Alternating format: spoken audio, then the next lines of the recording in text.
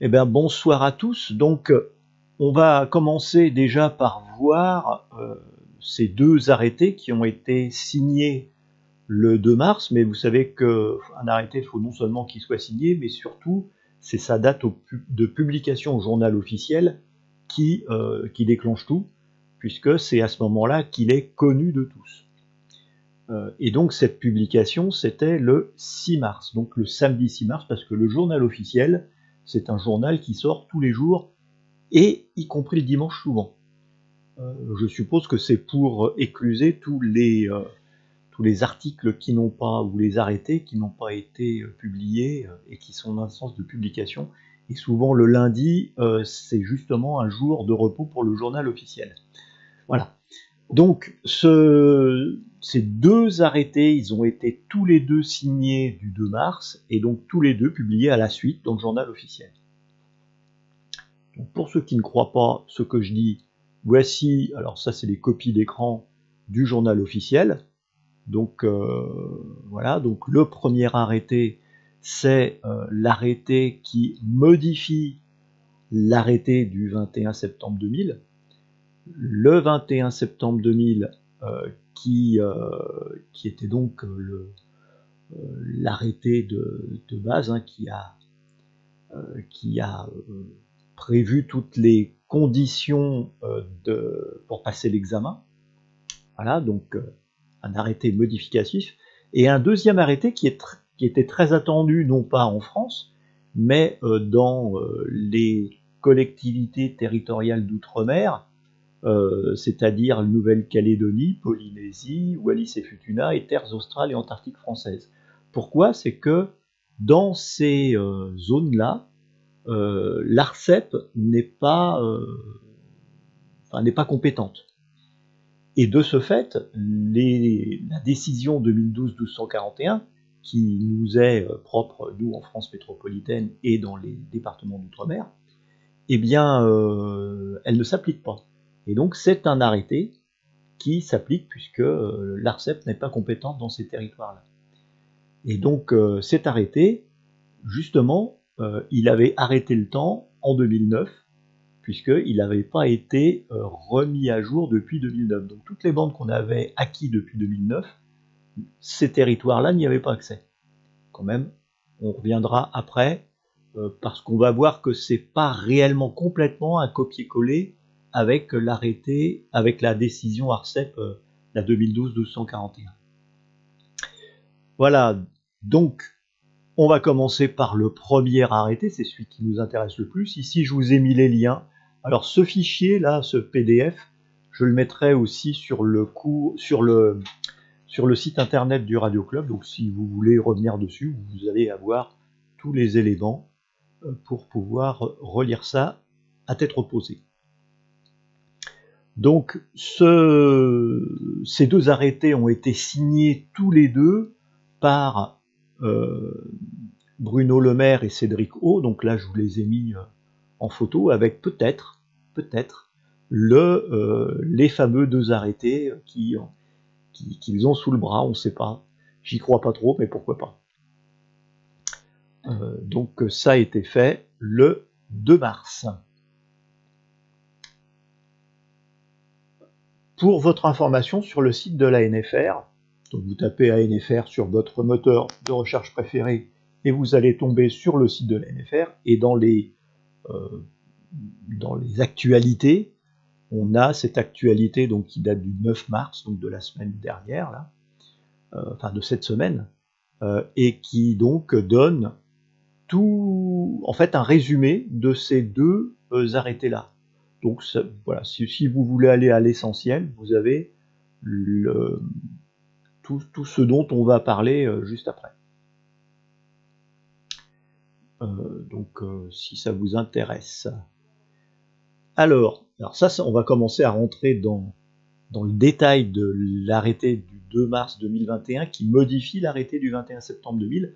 Donc ça, c'est les conditions d'examen, les conditions d'obtention du certificat d'opérateur, donc les conditions d'examen. Alors, premièrement, et ça c'est la question qui, est, qui tout le monde, c'est quand cela va-t-il entrer en vigueur? L'article 17 de cet arrêté, il dit le présent arrêté entre en vigueur trois mois après sa publication au journal officiel de la République française. En clair, ça a été publié le 6 mars, donc trois mois après, ça va faire le 7 juin. Et, coup de chance extraordinaire, le 7 juin, c'est un lundi. Voilà. Donc, euh, c'est facile. Euh, donc, le lundi 7 euh, juin, pour ceux qui passeront l'examen à partir du 7 juin, le nouveau système, tout ce que l'on va voir dans cet arrêté devra être mis euh, en place. Et donc toutes les modifications qui, de, cet arrêté ne seront effectives qu'à compter du, 7 juin. Alors ça ne veut pas dire pour autant que par exemple le programme de l'examen qui est modifié, on va systématiquement dès le 7 juin avoir des questions sur euh, les, nouvelles têtes de chapitre. Hein. Euh, mais euh, l'ANFR pourrait le faire. J'y crois pas trop, mais pourquoi pas. et d'autre part, cet arrêté, mais ça c'est valable pour tout le temps, c'est que là, on précise que l'arrêté est aussi valable dans, les, dans ces collectivités territoriales un peu particulières, donc la Nouvelle-Calédonie, la Polynésie, les mêmes que dans le deuxième arrêté, hein. euh, parce que euh, ce sont des collectivités territoriales d'outre-mer où quelquefois les arrêtés ne sont pas applicables et, donc il y a des arrêtés spécifiques. Et à chaque fois, euh, on précise si l'arrêté est applicable dans ces territoires ou pas.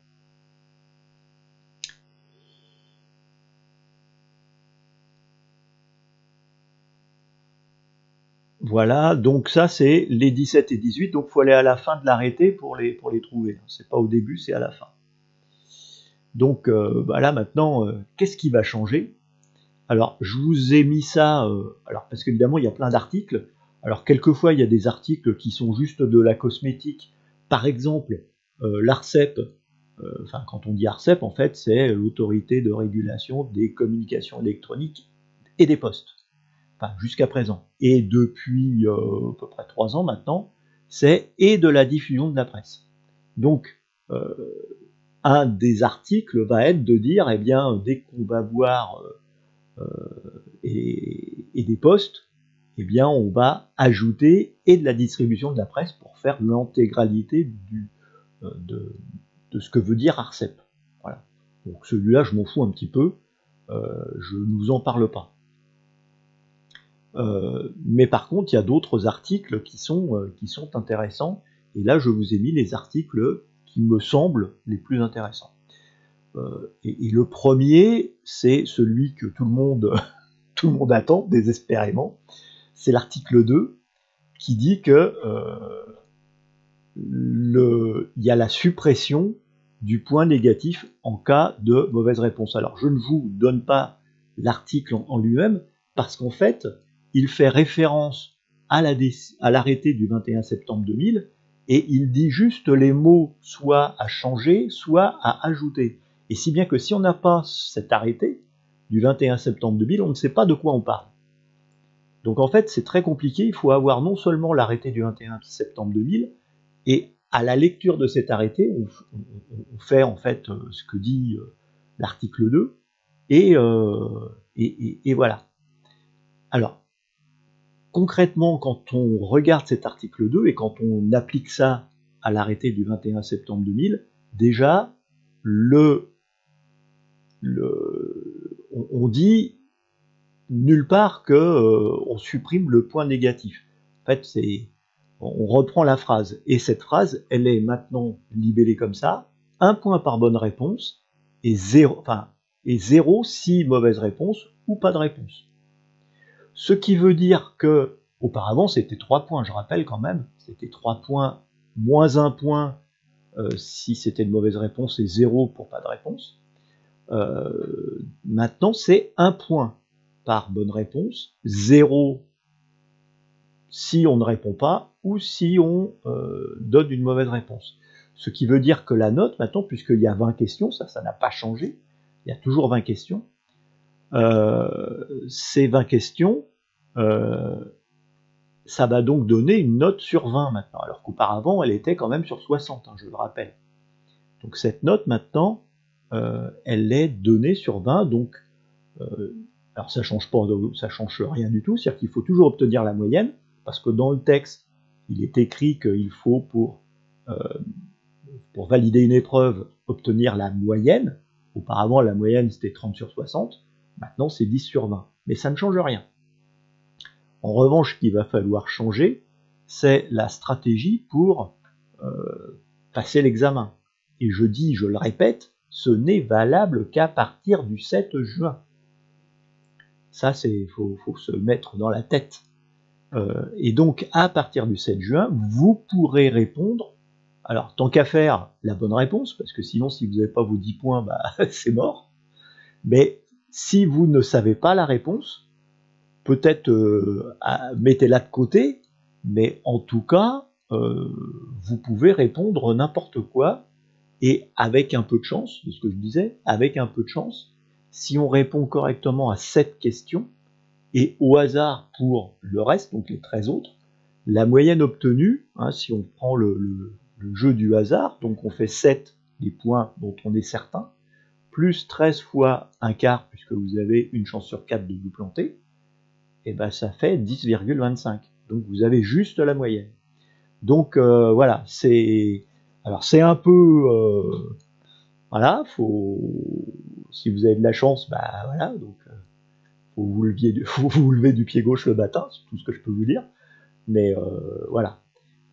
Donc il y a quand même plus de, de, chances d'obtenir de, réussir l'épreuve et donc on devrait avoir un taux de réussite à l'examen un peu meilleur.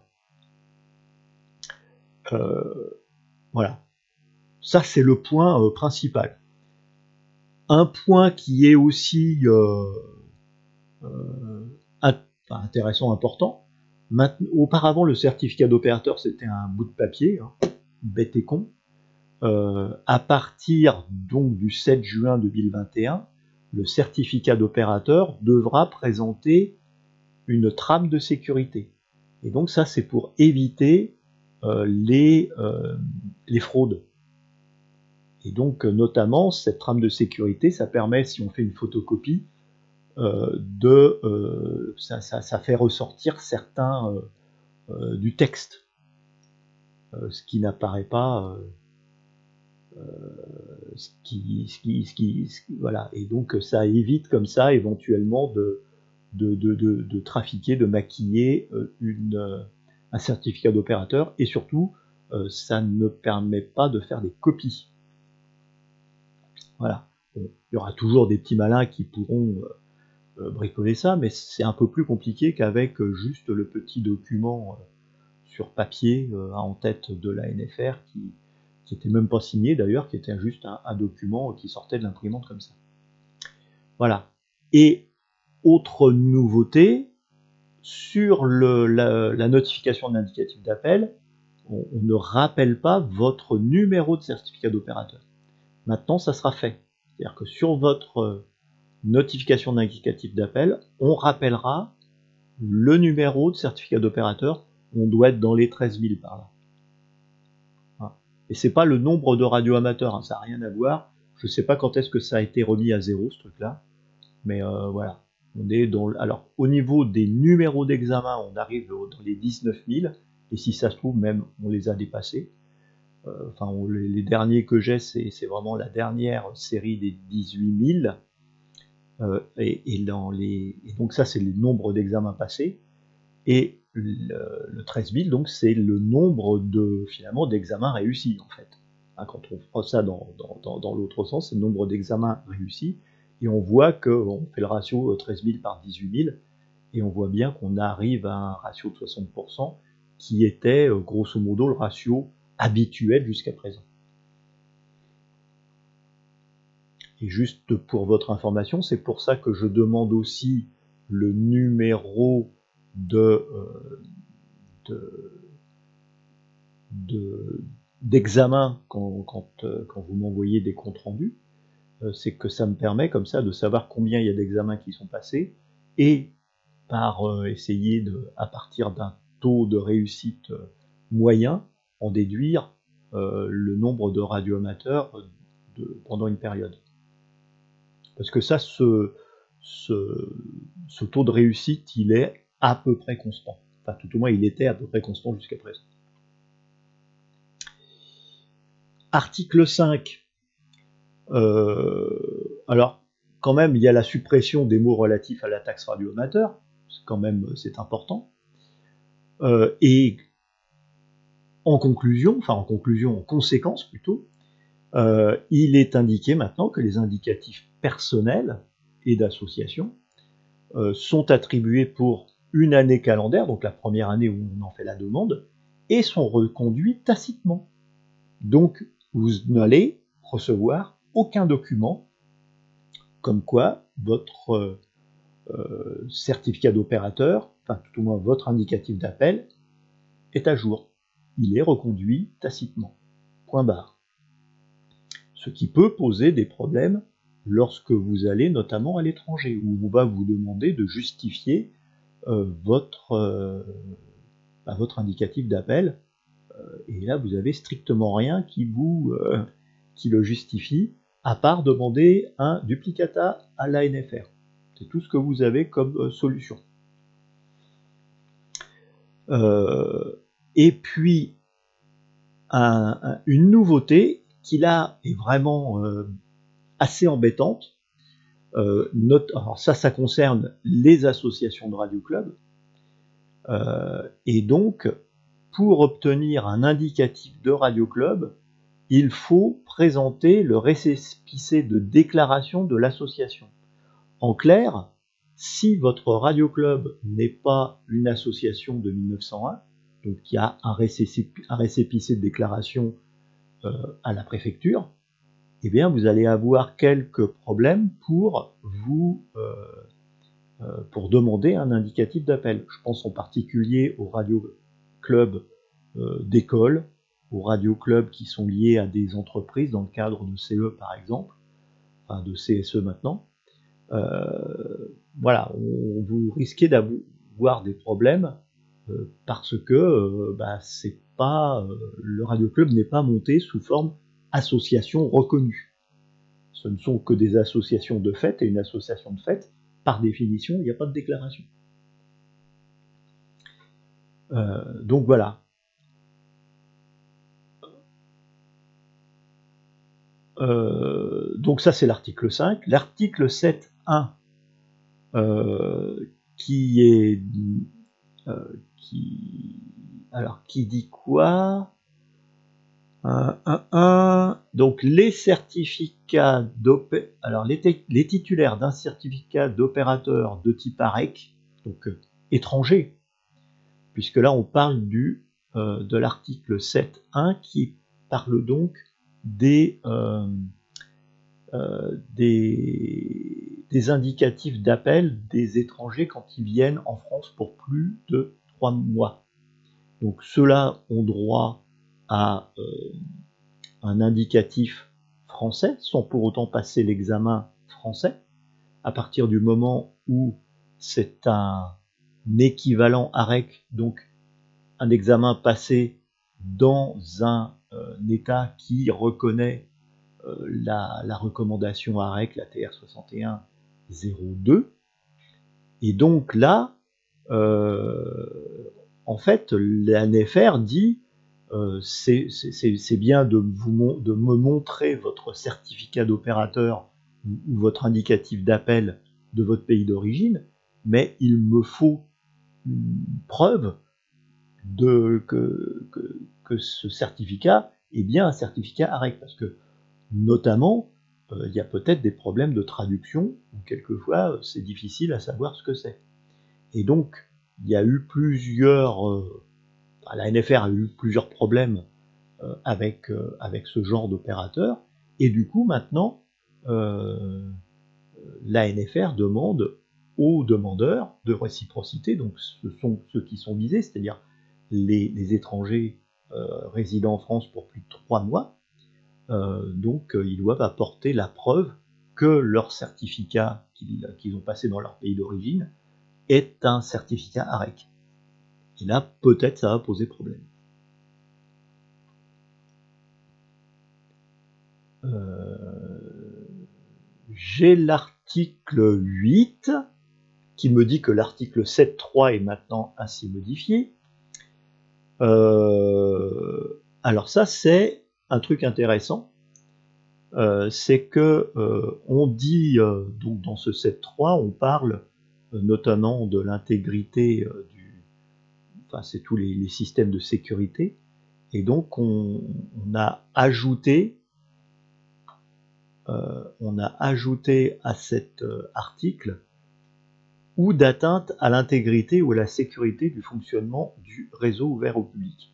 Donc ça, ça veut dire que euh, le, dernier texte que l'on attendait qu'il soit signé, ce soir j'ai regardé encore au journal officiel, il n'est pas sorti, il n'a pas été publié, et donc c'est un article là du Code de poste et communication électronique qui qui, qui, dit comment euh, euh, cette euh,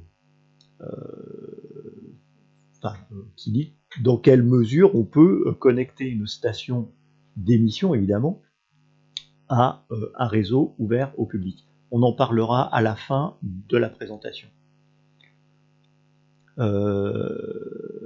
alors aussi, ça c'est dans les sanctions, et dans les sanctions, on dit sans possibilité, enfin euh, après le mot révoqué, donc c'est soit suspendu ou révoqué, et après révoqué, on a ajouté sans possibilité d'attribution ou de réattribution d'un nouvel indicatif personnel.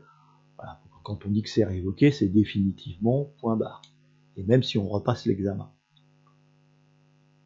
Donc ça complète les sanctions, mais bon, il n'y a pas grand chose à dire euh, là-dessus en complément. Euh, en revanche, l'article 10, là, il y a pas mal, il y a une grosse partie où euh, on va parler notamment des indicatifs spéciaux. Euh, alors l'article 10, il, modifie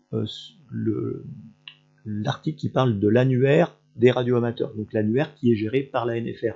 Ici, je vous ai mis ici le lien pour aller sur ce, sur ce site internet. Donc je vais vous montrer euh, Firefox. Il est arrêté Firefox? Pourquoi il est arrêté? Bon. Alors si ça veut pas se lancer, ça y est, c'est parti, c'est parti. Voilà, donc ça c'est Firefox. Donc vous voyez ici, vous avez annuaire, je clique dessus, et là vous avez trois pavés, radio amateur, radio club, station répétitrice. Et il y aurait donc un quatrième onglet qui parlerait ici des indicatifs spéciaux. Euh, voilà, donc, euh, et donc dans ces indicatifs spéciaux, qu'est-ce qu'on va trouver? Je reviens sur mon PDF. Je reviens sur mon PDF. On va trouver quoi? On va trouver. Alors, ce ne sont les indicatifs spéciaux en cours de validité. C'est-à-dire euh, ceux pour lesquels l'autorisation est encore en vigueur, puisque je rappelle, les indicatifs spéciaux peuvent être utilisés pendant 6 mois. Hein, c'est 15 jours non consécutifs pendant 6 mois. Et donc euh, voilà, une fois que la dernière date est passée, c'est supprimé. Donc si vous demandez juste euh, votre indicatif spécial pour une journée, il va apparaître sur le site ANFR pour une journée. Et si vous demandez 6 mois parce que vous voulez faire tous les contests, par exemple, euh, pendant 6 mois avec cet indicatif, eh ben, il va être supprimé à la fin de la dernière date. Et donc, dans, cette, dans ce pavé, vous aurez euh, l'indicatif attribué, ça c'est bon, la période de validité, euh, l'intitulé de l'événement, le nom, le prénom, l'adresse et l'indicatif personnel du radioamateur responsable. Mais vous n'aurez pas les, euh, les, opérateurs qui auront été déclarés euh, au moment de, la déclaration. Voilà. Euh, alors, comme je vous disais, c'est bien, mais pas si bien que ça, parce que pour les en fait, ça avait été demandé surtout pour les services QSL. puisque quand il y a des QSL, après, il faut savoir euh, vers où les acheminer. Et donc, euh, quelquefois, bah, c'est pas marqué. Et, donc, voilà, on a là les. c'est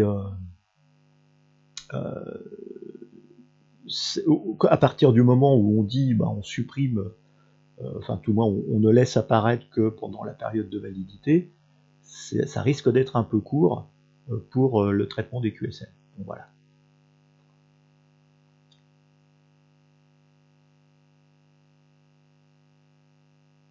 Alors, article 14.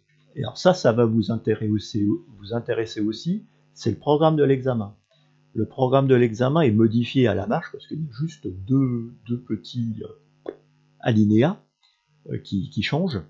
Premièrement, dans la partie réglementation, on ne parlera plus de taux d'onde stationnelle, mais de rapport d'onde stationnaire. Alors ça va rien changer du tout, je vous le dis tout de suite. Pourquoi? C'est qu'il y a aussi des questions à l'heure actuelle sur le ROS, le TOS et la transformation ROS-TOS ou TOS-ROS, comme vous voulez, dans les deux sens.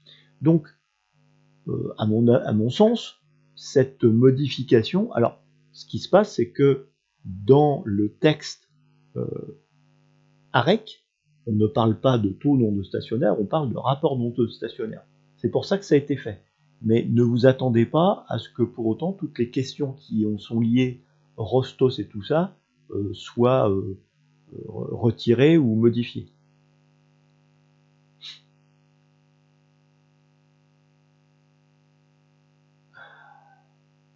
Et donc, euh, ça c'est pour la partie réglementation. Alors il y a juste un truc, c'est que on parle toujours de la résolution 640 qui a été abrogée en 1997. Ça va bientôt faire 25 euh, ans qu'elle a été abrogée, cette, cette résolution, et que pour autant, dans le texte, elle existe toujours, et toutes les résolutions qui l'ont remplacée à la suite, eh bien évidemment, elles n'existent pas. Voilà. Et euh, heureusement, il n'y a pas trop de, de, comment dire, euh, de questions euh, sur ces nouvelles, ces nouvelles résolutions, et c'est tant mieux. Elles traitent toutes finalement du, des communications d'urgence en cas de catastrophe. Et enfin, il y a un deuxième point, et ça qui est plus, qui, qui, qui va, chatouiller certains, c'est euh, on a rajouté un chapitre qui s'appelle traitement numérique du signal, où on va parler de tout ça, euh, c'est-à-dire euh, de, l'échantillonnage et de la quantification, de la démodulation des signaux et des conversions analogiques digitales et digitales analogiques.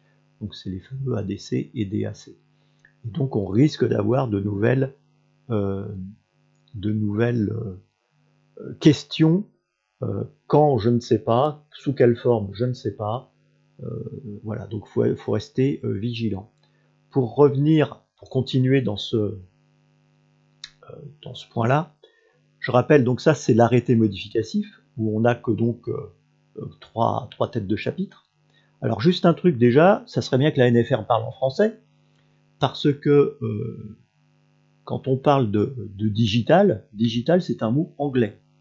Digital, c'est un mot anglais qui veut dire numérique en français. Et euh, digital, quand on prend le dictionnaire, c'est relatif au doigt. Et absolument pas au numérique. Donc euh, ça serait quand même bien que l'ANFR parle en français. Ça, serait, ça me ferait beaucoup plaisir. Mais bon, peut-être pas trop exagéré. Euh, voilà, ça c'est mon petit point. Euh, et, donc ça c'est donc je compare ici l'arrêté, donc la modification de l'arrêté, donc la mise à jour. Et quand on regarde la, recommandation, la TR 6102, on s'aperçoit que c'est beaucoup plus, il y a beaucoup plus d'éléments. C'est-à-dire qu'on a effectivement le chapitre indice, mais on a aussi deux petits, euh, deux petits items ici dans euh, le chapitre des circuits, qui ont été complètement oubliés par nos amis de la, de, de, la DGE, je suppose que c'est la DGE qui a préparé l'arrêté, voilà. Donc ici, je vous ai mis en bleu ce qui est repris finalement dans notre arrêté, mais nulle part on parle de démodulation des signaux dans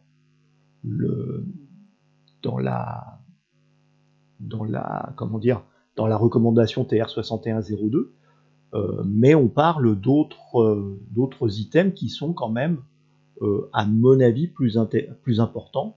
Et en tout cas, tous ces items-là, dans le cours, j'en parle. Alors pour le moment, il y en a une bonne partie qui est en italique, mais voilà. alors est-ce que cette démodulation des signaux, ça recouvre finalement tout ça? Euh, Je suis pas certain. Voilà. Enfin, encore une fois, la, DGE, puisque je pense que c'est eux qui sont derrière cet arrêté, a essayé de euh, noyer le poisson. Euh, les problèmes générés par cet arrêté. Alors, première question, mais ça on verra dans l'avenir, est-ce qu'il va y avoir de nouvelles questions dans l'épreuve de technique, euh, notamment tous ces traitements numériques du signal? Je ne sais pas. Deuxièmement, les sanctions. Il faut savoir que l'arrêté du 21 septembre 2000 euh, dit qu'il euh, y a des sanctions qui peuvent être prises à la demande de certaines administrations, dont l'ANFR. L'ANFR, comme c'est eux qui donnent des indicatifs, je ne vois pas comment elle peut se saisir elle-même pour, euh, suspendre ou révoquer un indicatif. Donc, il y a quand même un problème. Et je rappelle quand même au passage que c'était ce genre de d'absurdité qui avait conduit à l'annulation des décisions ARC en, ART en 2000 et qui avait fait que les centres d'examen avaient été arrêtés pendant un an. Donc euh, voilà. S'il y a quelqu'un qui veut se euh, mettre cet arrêté au Conseil d'État, il, va pouvoir réussir à avoir gain de cause, euh, donc euh, voilà, c'est un peu dommage.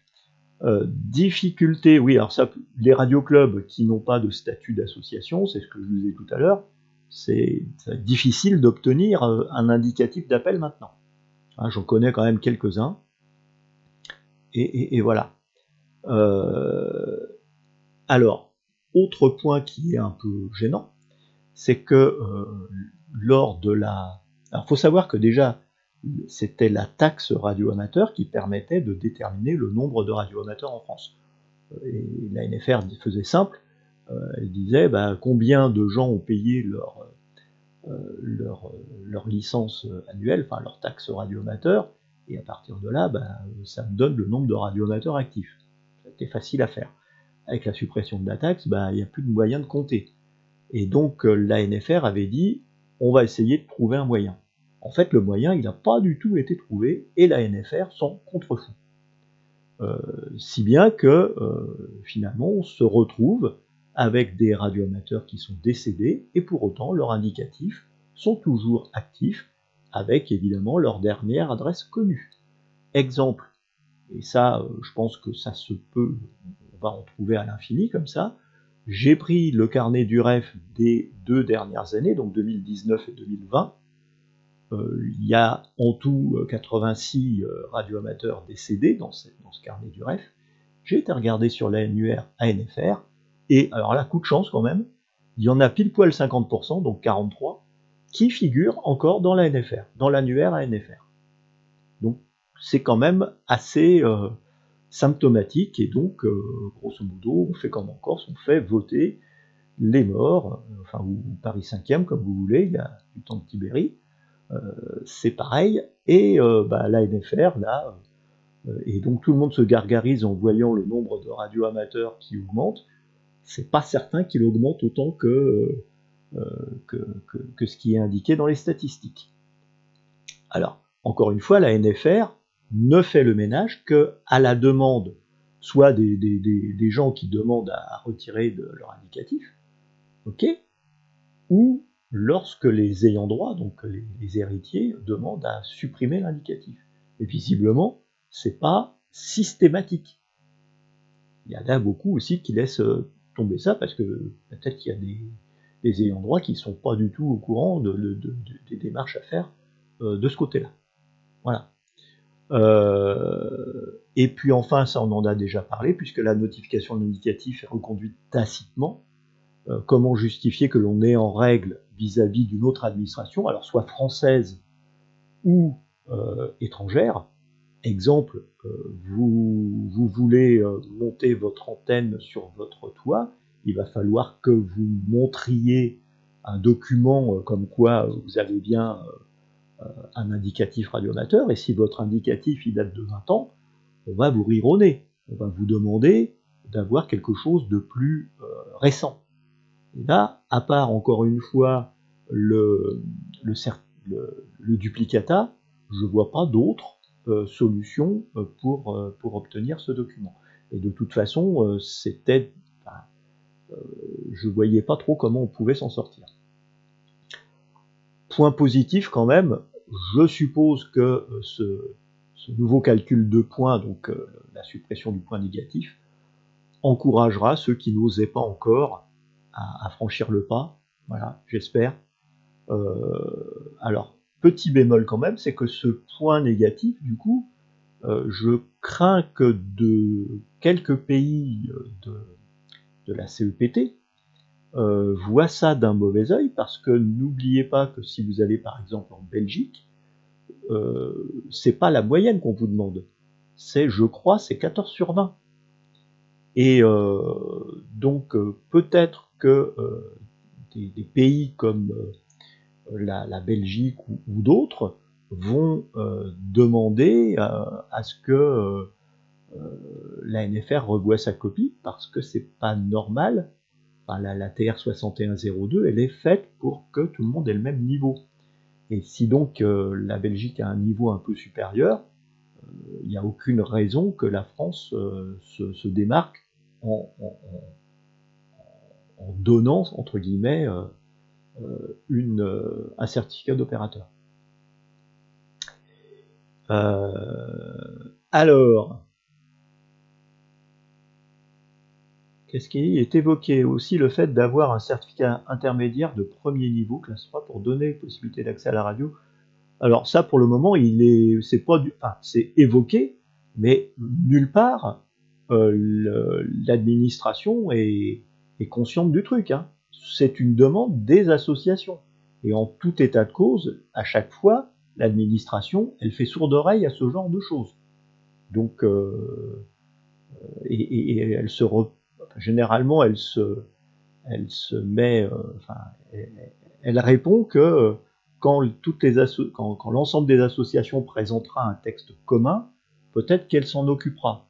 Et comme euh, je suis certain qu'aucune association ne va vouloir se mettre ensemble pour de radioamateurs va vouloir se mettre ensemble pour, pondre un texte en commun, tout le monde va vouloir son propre texte, et ben on est certain que ça ne va pas avancer. Euh, alors, deuxième point, euh, c'est donc ce fameux arrêté pour les collectivités territoriales d'outre-mer. Donc, c'est un copier-coller, quasiment copier-coller de la décision 2012-1241, décision qui est d'ailleurs qui est très euh, touffue, puisqu'il y a un préambule qui est très long, qui doit faire 7-8 pages, et euh, des arrêtés qui sont euh, très très courts, ça tient sur une page. Donc voilà, et, donc il y a des informations que vous retrouvez aussi dans le préambule, qui ne sont pas dans l'arrêté, mais qui sont dans le préambule. et, donc j'ai regardé un peu à la loupe ce, texte, et il y a trois différences majeures. Euh, alors déjà dans l'article 2, où la, dans, donc dans cet arrêté pour les collectivités territoriales d'outre-mer, pour les, euh, les, les, transmissions d'urgence, donc en cas de catastrophe naturelle, de catastrophe tout court d'ailleurs. Euh, le texte de la 2012-1241 dit seulement les stations, alors des stations du service d'amateurs, etc., euh, peuvent transmettre des communications. Euh, enfin, il y, a plein de trucs. après, on s'en fout. d'urgence pour les, pour les secours au cas de catastrophe. ok? Ça, c'est la phrase telle qu'elle est dans la décision 12-1241. Et dans cet arrêté, on a rajouté devant à la demande des services d'urgence. Alors, quand on voit ça, euh, qu'est-ce que ça veut dire? Quelle forme doit prendre cette demande des services d'urgence? Est-ce que c'est les services d'urgence français? Et dans ce cas-là, euh, bah, qui sait? À part le préfet, je ne connais pas d'autres. Euh, et que fait-on donc dans les cas des, communications internationales? Parce que là, du coup, qui, qui, gère ça J'en ai aucune idée. Enfin, en tout cas, cette, ce, début de phrase, bah, c'est un petit peu n'importe quoi. Voilà. Euh, article 3. Euh, on a rajouté dans les obligations de la station, alors déjà ne pas brouiller une station, euh, enfin ne pas brouiller une station, enfin des, émissions en cours. Et là, il y a rajouté une phrase au cas où on n'est pas bien compris, ne pas brouiller volontairement des émissions en cours. Là, on est vraiment, on a, on a mis le doigt sur quelque chose. Euh, alors juste pour euh, information, histoire de rigoler un peu, euh, cette histoire de brouillage volontaire des émissions en cours, vous avez sûrement entendu parler du F4 MSY, et qui finalement avait arrêté ses émissions en décembre, eh bien on a su un peu plus pourquoi il avait arrêté ses émissions, c'est que l'ANFR et la gendarmerie ont fait un petit euh, enfin, ils ont été euh, chez lui et ils ont euh, piqué tout le matériel et ils l'ont mis en garde à vue et même visiblement, ça va assez loin. Et donc, alors, si vous allez sur le site ANFR, ça c'est mis enfin, c'est une, une, information qui a été mise à jour tout dernièrement. Donc, si vous allez dans les actualités, voilà, c'est dans les enquêtes de l'ANFR. Fin de partie, un radioamateur menaçant stoppé net par la saisie de son matériel d'émission. Et donc vous allez là-dessus, lire la suite, et là vous allez voir ce superbe article euh, voilà, qui explique tout euh, ce qui s'est passé, dans quelle mesure euh, ça a été fait, etc., etc., etc. Il y en a assez long à lire et c'est assez croustillant. Voilà, donc j'aime bien ce genre de d'informations, c'est toujours assez drôle et je, pas passé, je ne suis pas passé sur Firefox, ce que j'aurais dû. Voilà, donc si vous voulez, il y a tout cet article-là, ici, sur, euh, sur Firefox, qui, explique le, cette, cette, enquête.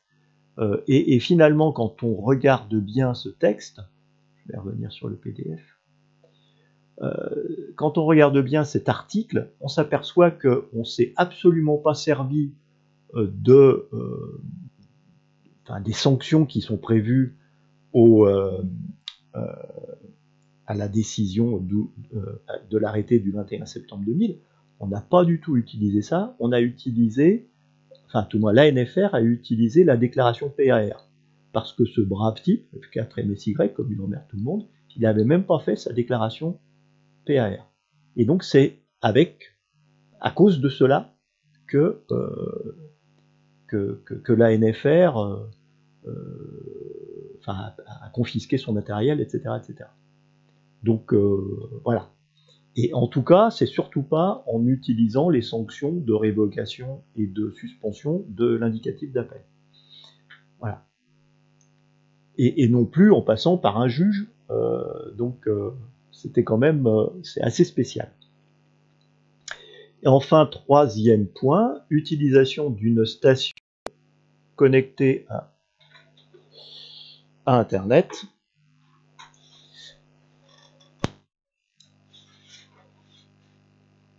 Euh, et donc là, encore une fois, on parle de, euh, de cette... puisque là, maintenant, les stations dans les CTOM, donc les collectivités territoriales d'outre-mer, peuvent se connecter à un réseau ouvert au public à partir du moment, évidemment, où ça sera autorisé, où le 99.4 sera, euh, sera publié, et donc on va être sur un pied d'égalité sur les deux, sur, les deux, sur les deux réglementations.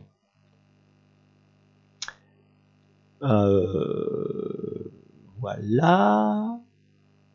Quoi dire? Ah oui, c'est ce que je disais en introduction, c'est que cet arrêté arrive à point nommé, puisque le temps s'était arrêté en 2009 euh, et que toutes les nouvelles bandes, euh, bah, elles n'étaient pas autorisées euh, aux, de ces, collectivités territoriales, ce qui est un peu gênant.